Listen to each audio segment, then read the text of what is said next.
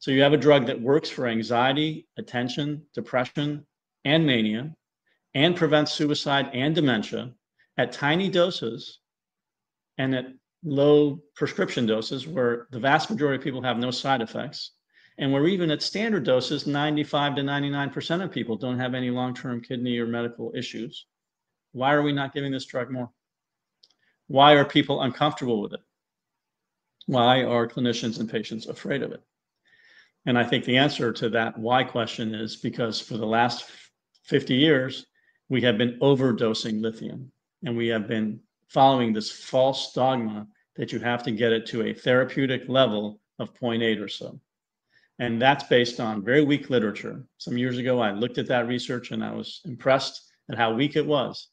There's some evidence that that level is appropriate for acute mania. That's where the level might be relevant for a full blown acute manic episode. But for depression, it's never been shown you need a level of 0.8 not for bipolar depression or unipolar depression. It's never been shown that if you don't get a level 0.8, you don't get better. For bipolar type 2 illness, it's never been shown you need a full level. Lower levels can be effective.